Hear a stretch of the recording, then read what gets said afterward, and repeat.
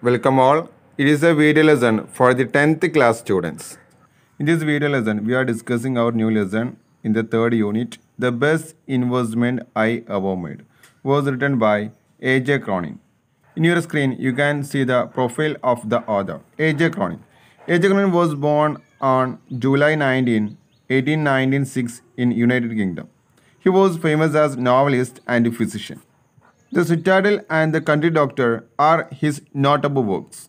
His short novel, Country Doctor, was adapted for a long running BBC radio and TV series. He was awarded the National Book Award for Fiction. He passed away on January 6, 1981. Okay, let's move to our lesson. The best investment I ever made. ഞാൻ ചെയ്ത ഏറ്റവും നല്ല മുതൽ മുടക്ക് എന്ന ഈ പാഠഭാഗം നമുക്ക് പാഠഭാഗത്തിൽ നീങ്ങാം Look at the title. The best investment I ever made. The word investment. What is the meaning of investment? We know different kinds of investment. Investments in stocks, property, etc. For, for material gain. It gives us material gain. But here, in the title of our story, the best investment I ever made. The word investment gives us another meaning. Here, the investment saves the life of not only a young man but also a society. The author speaks about a man, and the writer had put an investment into something, but it not for material gain, but it saves a man, and also it helps to change his life completely. Okay, let us start our lesson. Look in the first paragraph. In this lesson, the author speaks about his own experience. Okay, first paragraph. On the second രണ്ടാമത്തെ ദിവസം. Out from New York ഞങ്ങൾ ന്യൂയോർക്കിൽ നിന്ന് പോന്നിട്ടുള്ള രണ്ടാമത്തെ ദിവസം. While making the round of promenade deck നമ്മുടെ എഴുത്തുകാരൻ ഒരു കപ്പലിൽ ഇങ്ങനെ സഞ്ചരിക്കുകയായിരുന്നു. അദ്ദേഹം കപ്പലിൽ യാത്ര തുടങ്ങിയിട്ട് രണ്ട് ദിവസമായി. അങ്ങനെ ന്യൂയോർക്കിൽ നിന്ന് പോകുന്ന രണ്ടാമത്തെ ദിവസം while making round of the promenade deck promenade deck എന്ന് പറഞ്ഞാൽ കപ്പലിന് മുകളിലുള്ള ആളുകൾ നടക്കുന്ന തുറസ്സായ സ്ഥലത്തിനാണ് പ്രൊമിനേറ്റ് ഡെക്ക് എന്ന് പറയുക.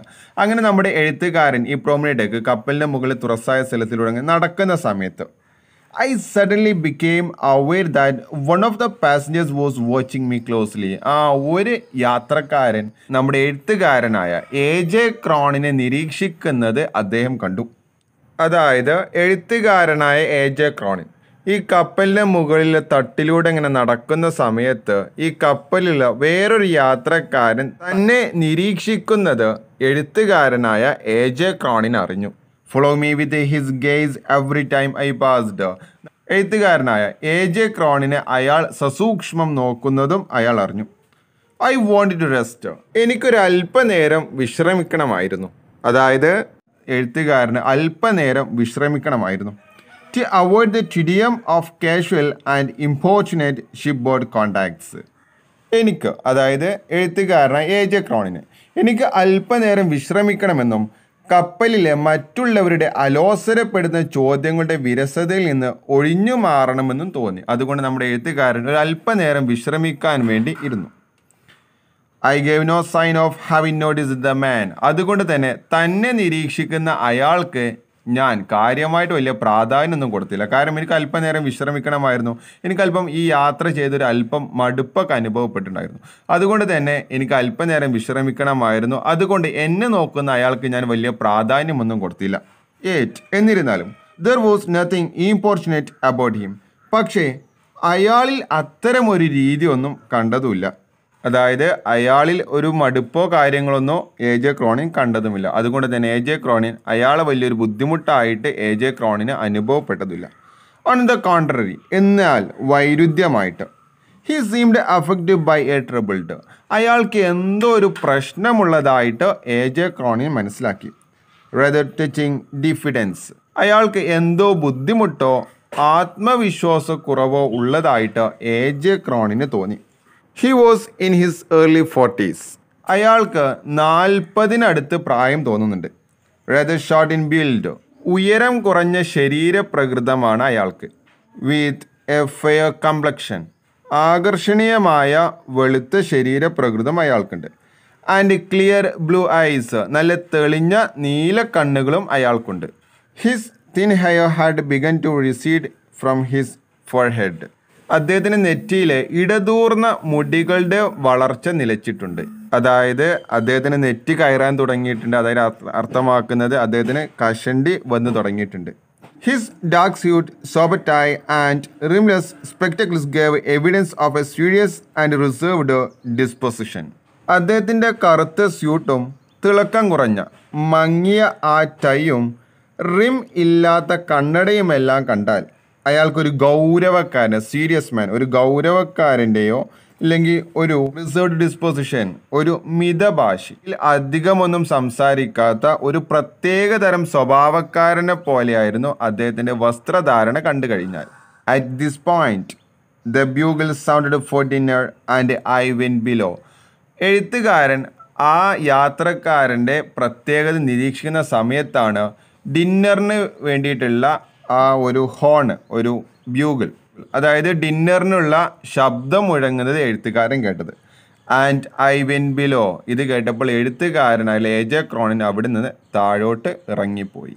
On the following forenoon പിറ്റേ ദിവസം ഉച്ചയ്ക്ക് മുൻപ് I again observed my fellow voyage watching me earnestly from his deck chair പിറ്റേ ദിവസം ഉച്ചയ്ക്ക് മുമ്പും ഞാൻ എന്റെ സഹയാത്രികനെ കണ്ടു. Watching me earnestly from his deck chair അദ്ദേഹം അയാളുടെ ഡെക്കിലുള്ള ചെയറിൽ ഇരുന്നു കൊണ്ട് എഴുത്തുകാരനായ എ ജെ ക്രോണിനെ തന്നെ നിരീക്ഷിക്കുന്നത് എഴുത്തുകാരൻ അറിഞ്ഞു. Now a lady was with him ഇപ്പോൾ അയാളുടെ കൂടെ ഒരു ലേഡി ഒരു സ്ത്രീയും അയാളുടെ കൂടെയുണ്ട് ഒബ്വിയസ്ലി ഹിസ് വൈഫ് എഴുത്തുകാരനായ എ ജെ ക്രോണി മനസ്സിലാക്കി. തീർച്ചയായും അത് അയാളുടെ ഭാര്യയാണ്. The situation by this time had begun to intrigue me ഇത്തവണ അയാൾ എന്നെ നിരീക്ഷിക്കുന്നത് കണ്ടപ്പോൾ എഴുത്തുകാരന് അയാളെക്കുറിച്ച് അറിയാനുള്ള താല്പര്യം അദ്ദേഹത്തിന്റെ മനസ്സിലുണ്ടായി. I discovered from my steward ഇതറിഞ്ഞപ്പോൾ ഞാൻ എന്റെ സ്റ്റ്യൂവേർഡ് ഞാൻ എന്റെ പരിചാരകനോട് അയാളെക്കുറിച്ച് ചോദിച്ചു.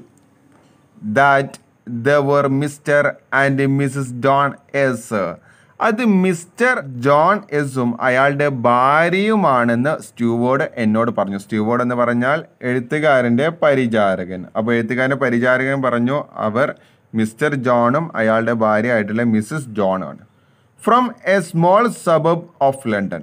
ലണ്ടനിലെ പ്രാന്തപ്രദേശത്തിൽ നിന്നാണ് അവർ വരുന്നത്. When another day pass without event പ്രത്യേകിച്ച് വിശേഷണങ്ങളൊന്നുമില്ലാതെ മറ്റൊരു ദിവസം കൂടി കടന്നുപോയി. I began to feel certain that Mr S would remain too shy to carry out his obvious desire to approach me എന്നെ സമീപിച്ച് സംസാരിക്കാൻ അയാൾക്ക് ധൈര്യമില്ലെന്ന് ടു ഷായ് അദ്ദേഹത്തിന് എന്തോ ഒരു മടിയുള്ള പോലെ എഴുത്തുകാരന് തോന്നി തുടങ്ങിയിരുന്നു. അതായത് മിസ്റ്റർ ജോണിന് എ ജെ ക്രോണിന്റെ അടുത്ത് വന്ന് സംസാരിക്കാൻ എന്തോ ഒരു മടിയുള്ള പോലെ തോന്നിയിരുന്നു. ഇത് എഴുത്തുകാരനായ എ ജെ ക്രോണിൻ മനസ്സിലാക്കുകയും ചെയ്തു.